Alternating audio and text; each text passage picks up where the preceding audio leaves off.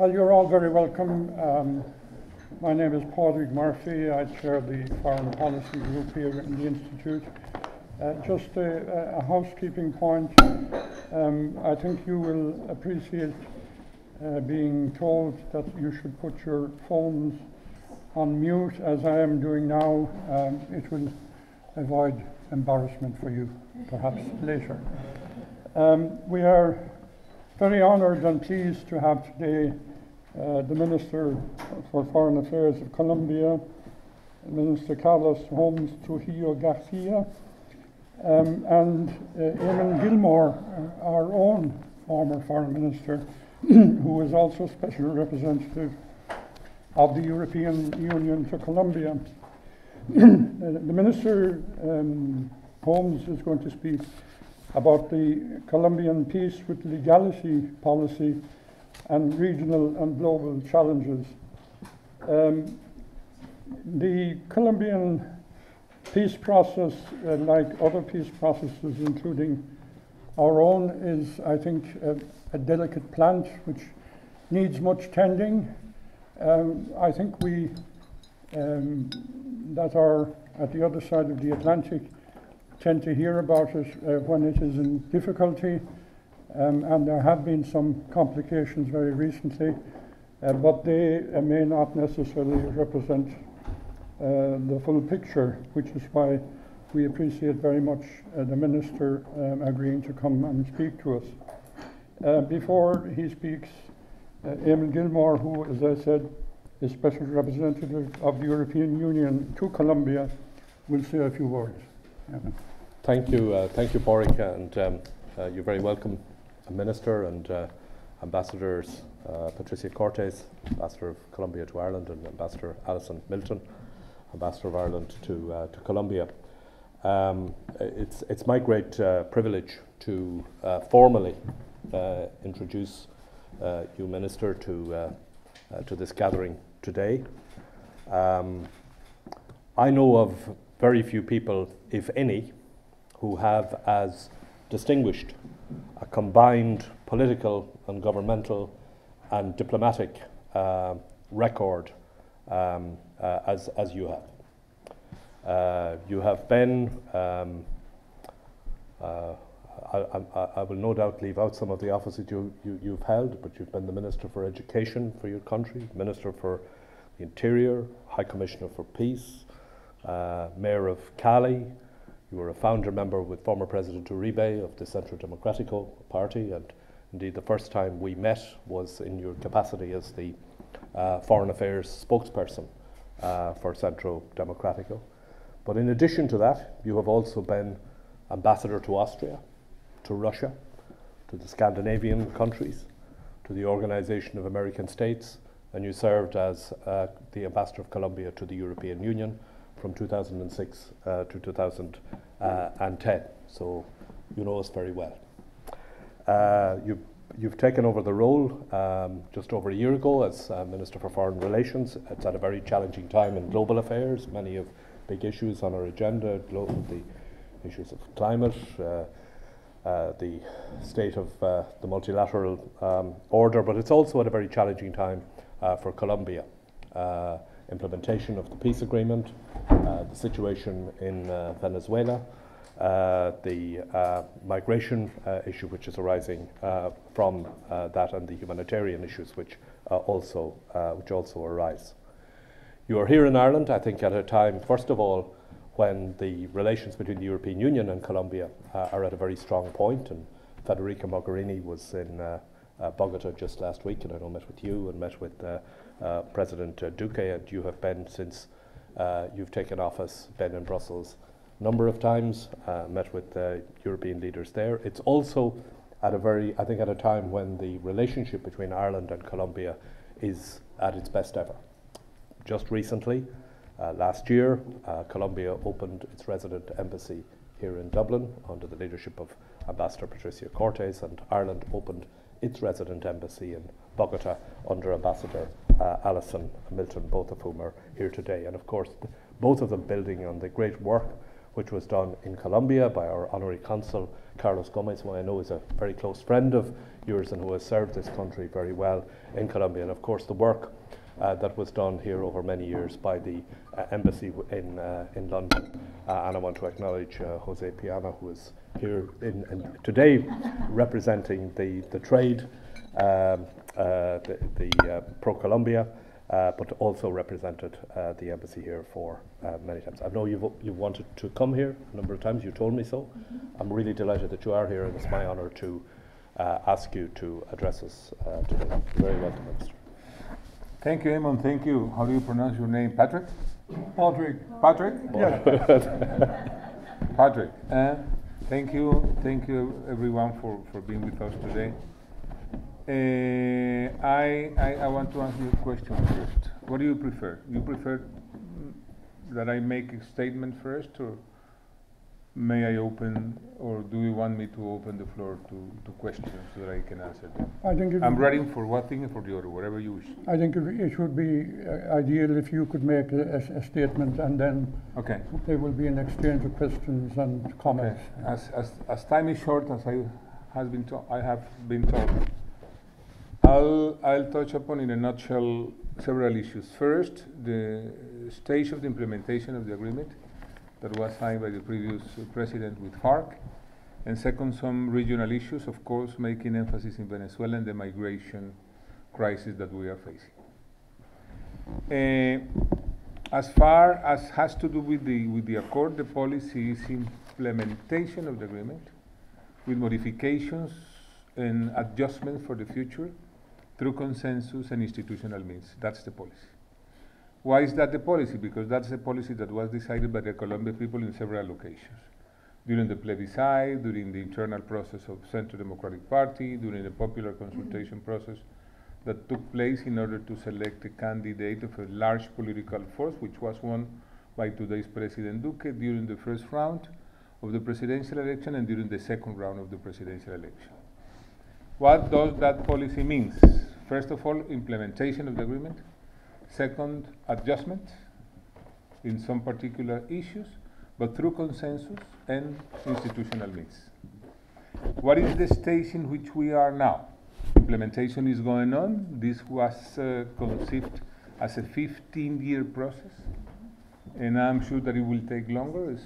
You, you know, you have the experience in Ireland of how long it normally normally normally takes. But uh, we are doing we are doing a huge effort, and we have the verification of the United Nations mission permanently in Colombia. As you know, there is a United Nations verification mission every three months. That verification mission makes a report that is presented to the Security Council of the United Nations. So, as far as the international follow up of what we are doing in Colombia, there is not a highest authority that the Secretary General of the United Nations and the Security Council of the United Nations. We recently we had a visit of the Security Council. They went to Colombia because we invited them to go. In that sense, we are a very open country. We let the we told the members of the Security Council go down to Colombia, meet with whomever you wish to meet, have an idea of what is going on, see the possibilities, the difficulties, the advances, the complications that we have, the complexity of the implementation of the agreement, and with that view on the ground, tell the international community whatever you think is most advisable to tell. After that, there was a new report presented by the Secretary General to the Security Council of the United, of the United Nations, and the Security Council approved by unanimity that report, as has been the case with all the reports that have been presented uh, by the, that verification mission. Uh, is the implementation complex? The complexity is huge. This is a completely type of agreement to those that were uh, agreed upon in the past, because we have always been a country open to political to political solutions, and uh, this agreement is different because, first of all, it was negotiated after the entry into force of the Rome Statute, which has to do a lot with the justice component of the, of the agreement. And secondly, because it uh, broke the custom that we used to have in Colombia, which were handling the implementation stage of the agreement through legal frameworks. This is a much more complex one. This is a 310 pages agreement that touches upon each and every sector of Colombian life, so it makes the implementation much more complicated to do. But that is the line of the government as far as the implementation of the agreement is, is concerned. So, advances, yes. Difficulties, yes. Complexity, yes. A lot of work to be done, yes. There is nothing to hide about what is going on in Colombia as far as this is concerned. Secondly, regional issues. As you can imagine, Venezuela is, is the issue that uh, occupies most of our time in this, in this uh, particular juncture.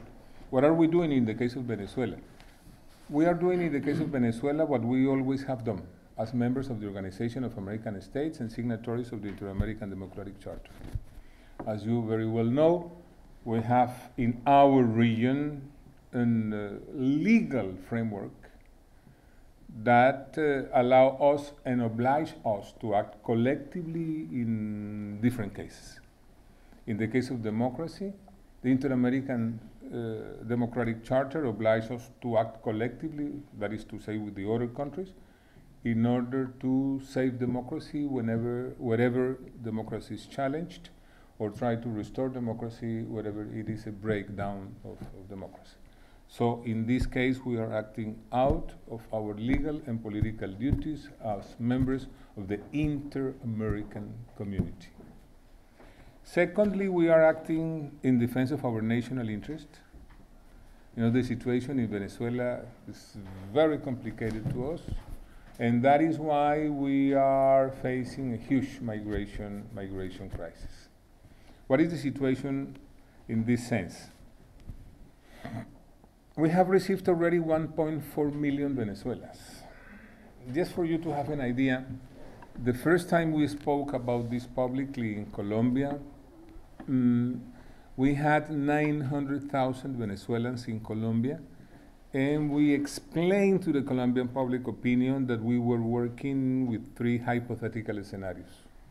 If the situation in Venezuela remained the same and the situation has not changed, on the contrary, it is getting worse and worse.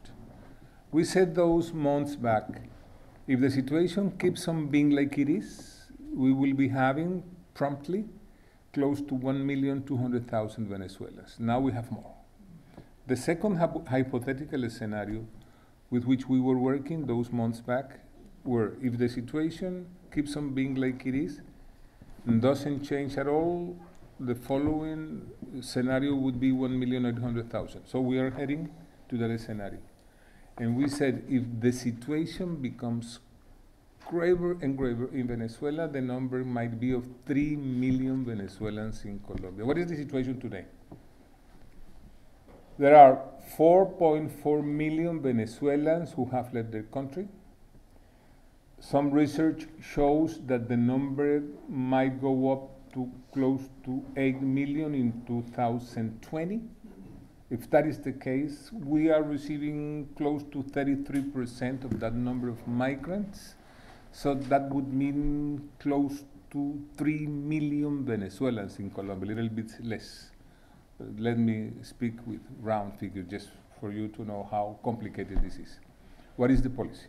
The policy is receiving our Venezuelan brothers with fraternity, with a humanitarian sense, with solidarity sense, and as well with historical gratitude sense because in the past there were many Colombians that went to Venezuela looking for better living conditions at the time of the oil boom in Venezuela. Many of them have already returned to Colombia. We are doing all we can. We are putting resources from the national level, regional level, local level, but the magnitude of the crisis goes over our capacity to face it. So that is why, since the very beginning of the administration, we knocked the door of the region and told our colleagues, this is not a Colombian issue, this is a regional issue, and we got to work together in order to harmonize migration measures so that allow us to face in the most appropriate way this handling that is a common crisis. That is a common crisis. And we went as well to the United Nations system to ask for the appointment of a high envoy, joint envoy of migration, International Migration Organization and Office of the High Commissioner for Refugees, in order for him to help us to coordinate international measures in the region. Actually, they did that, and they appointed Eduardo Stein, former vice president of Guatemala and former foreign minister of Guatemala. He's been doing a very, very, very dedicated, dedicated job. We value very much the cooperation of the international community, but we need more. There is no other way. We need more. You know, the crisis increases every second in Colombia. It is affecting, of course, health system, education system, social security system. And there is no other way, no other way than receiving more international cooperation. Uh, we have received with generosity international cooperation from several countries and some group of countries, but we need more. We cannot handle that huge, immense crisis alone. We cannot. Just for you to have an idea. Few few months back, there was a uh, joint call launched by the International Organization for Migration and the Office of the High Commissioner for Refugees of the United Nations. They were trying to get 740 million US dollars up to now. They have only collected 30%, and the rate of that resources flowing into is very slow and slow and slow and slow just to make a per capita comparison of what a refugee is getting, let me tell you that a Venezuelan refugee is getting $68 more or less, while a Syrian refugee is receiving $560.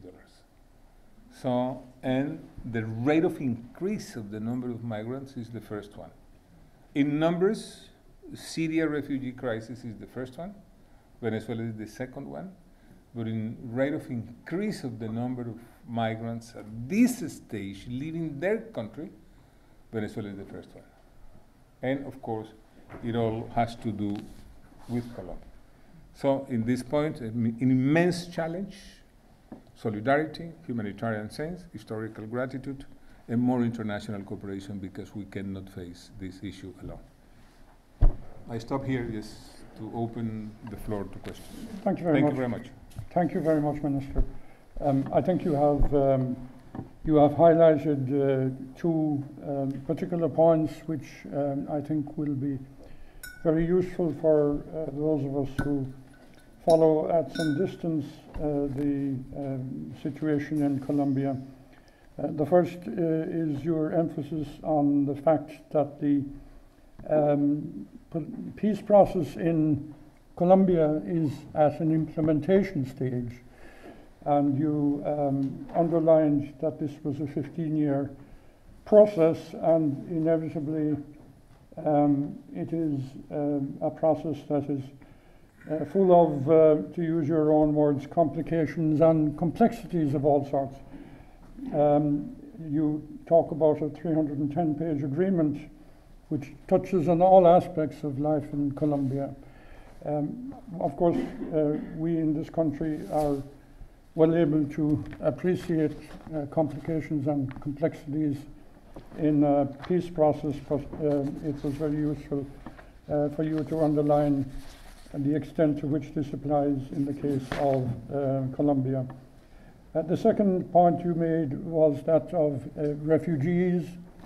Um, I personally uh, was not aware of the huge extent uh, in terms of percentage of uh, Venezuelan uh, refugees in Colombia. Uh, 1.4 million, uh, that's to say one third of all refugees in Colombia, with, you say, a um, potential to rise to twice that figure.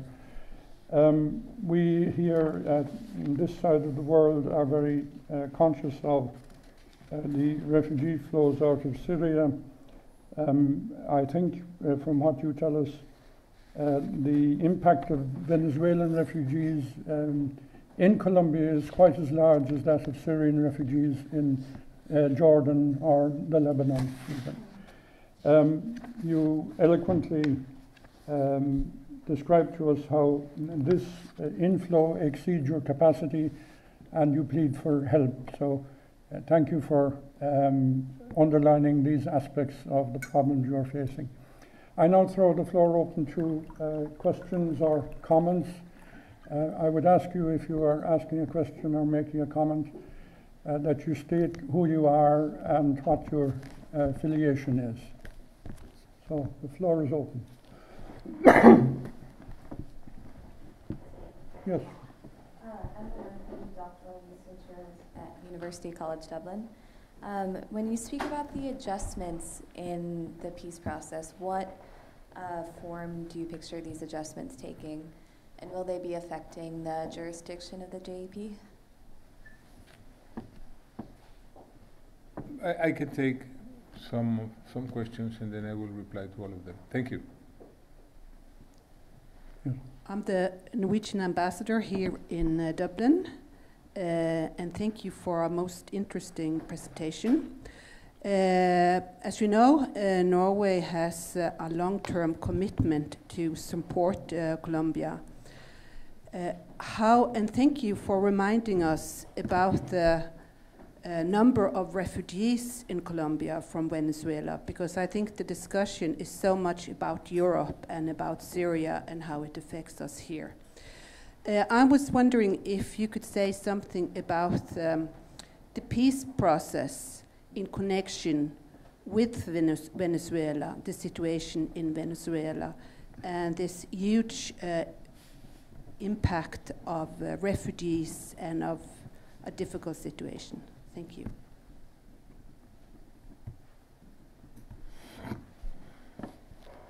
Yes.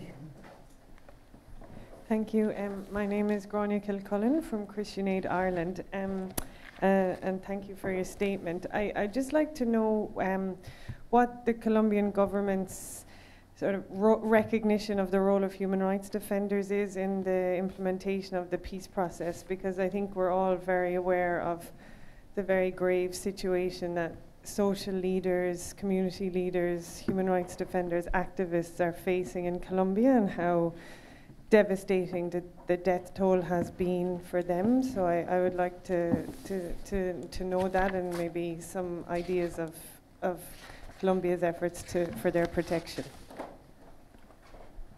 Maybe we can take these three questions. I can take some more. You can take some more. Yes.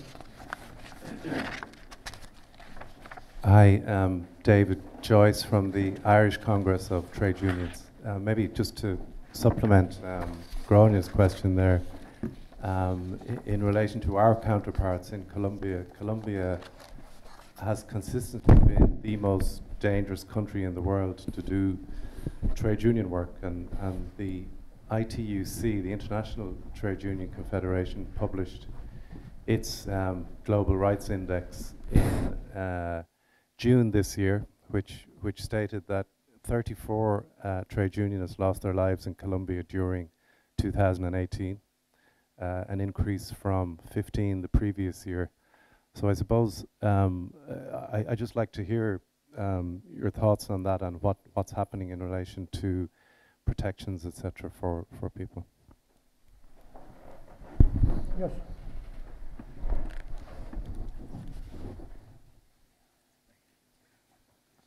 Phil Ryan, member of the Institute.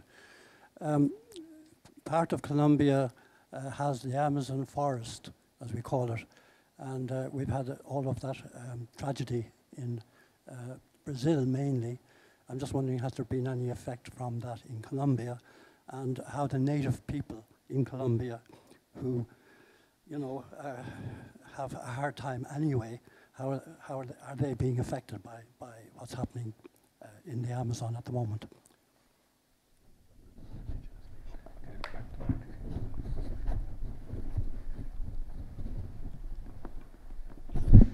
Okay. Adjustment. Uh, First of all, the idea of the adjustments is not to touch upon the body of the, the agreement. And they are conceived only for the implementation stage. Okay? Not backwards, not retroactive, but for the future. Some of them, that narco trafficking and kidnapping cannot be considered never again as crimes connected to political crimes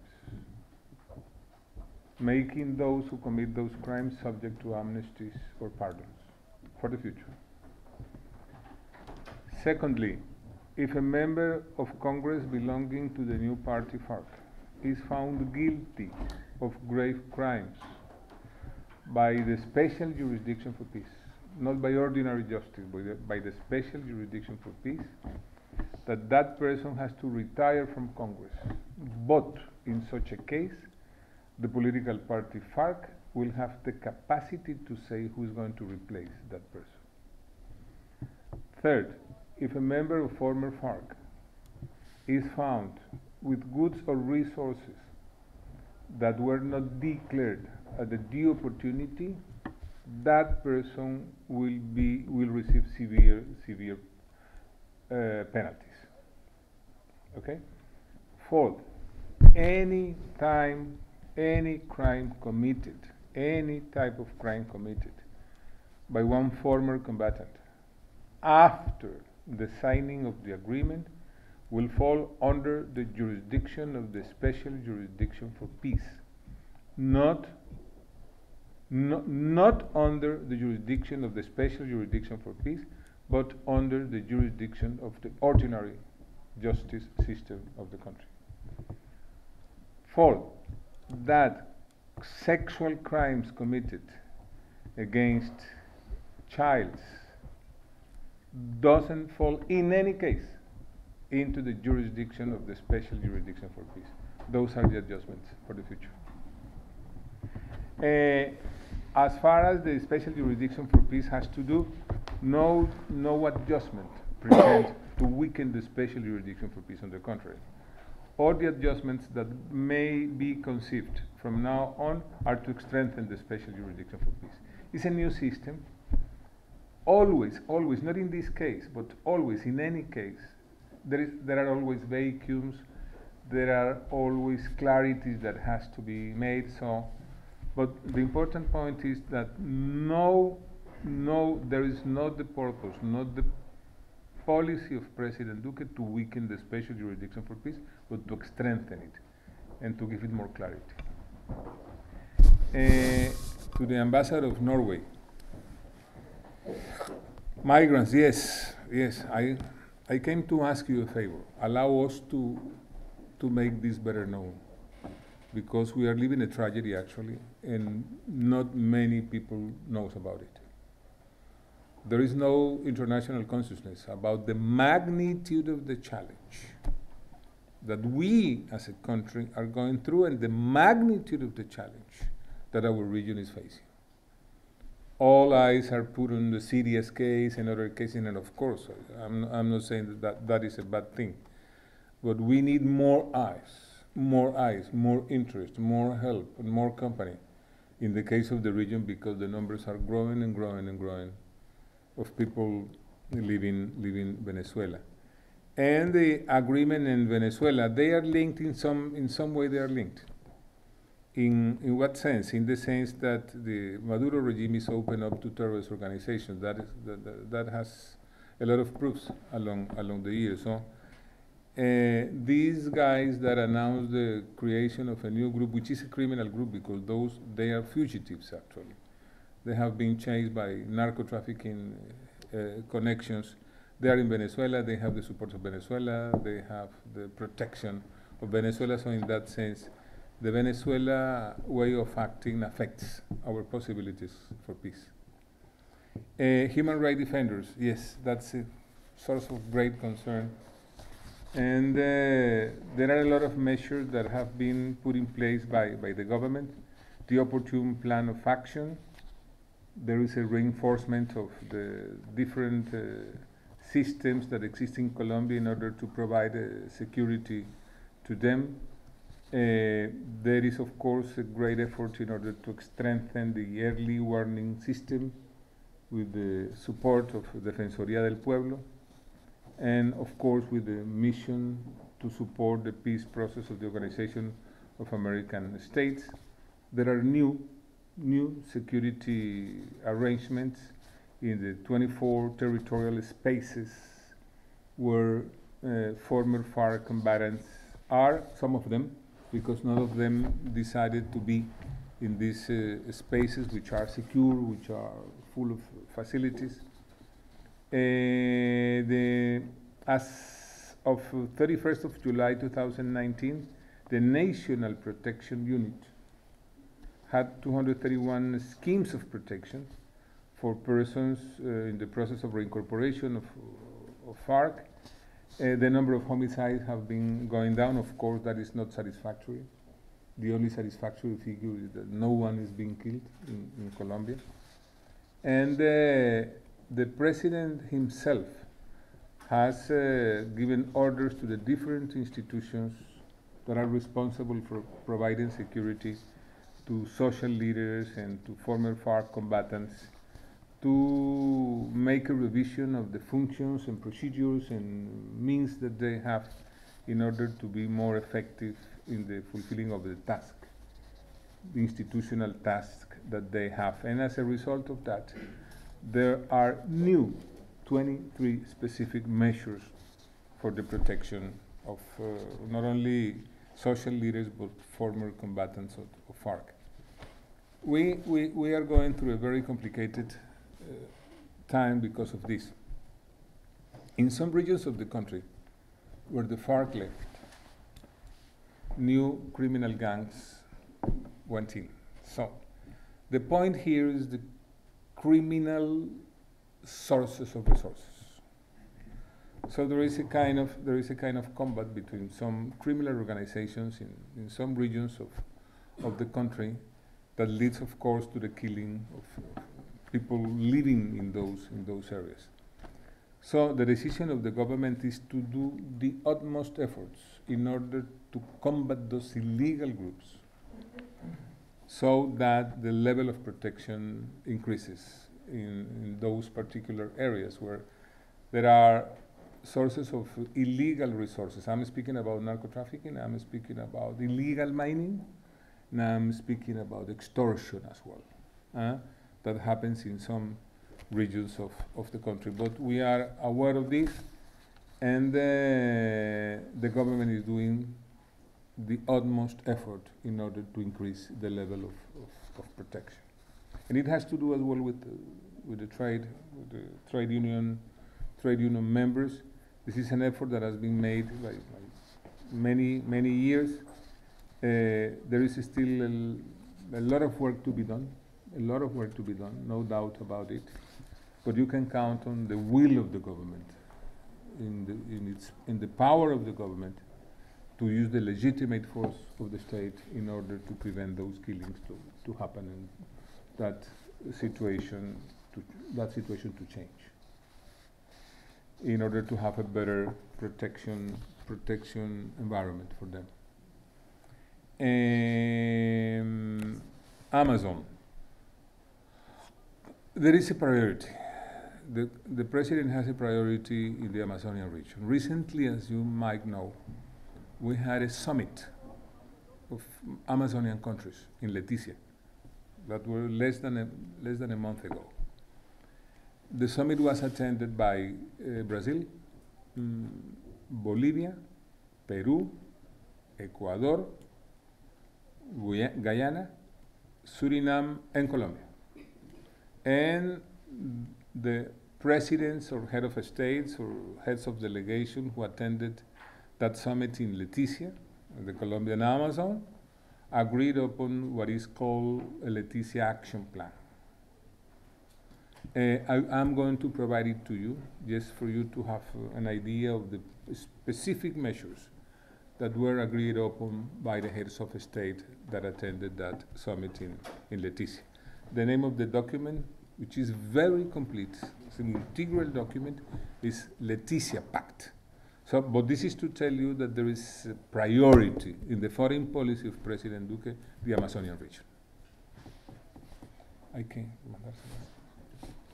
Could, could I maybe just add one word to Yeah, sure. to what David raised about the, the killing of human rights defenders, which, as, as you know, Minister, is always top of Mm. the agenda when we, when we talk. Uh, the European Union uh, has, is doing a project supporting the prosecutor's office in uh, Colombia. It's the establishment of a special investigations unit, which we launched uh, during my last visit uh, to Colombia. And that project is, it, it will be led by a Spanish prosecutor and it is focused on making the link between the guy who pulls the trigger and whoever ordered the killing to take place in the fir- uh, to, to, to be undertaken in the first place. So that's a, a particular contribution that the European Union will be making to the, the fight against the killing of social leaders and bringing those who were ultimately responsible uh, to account and to justice. Could, could I ask a question perhaps which arises out of uh, what uh, you have already said, Minister?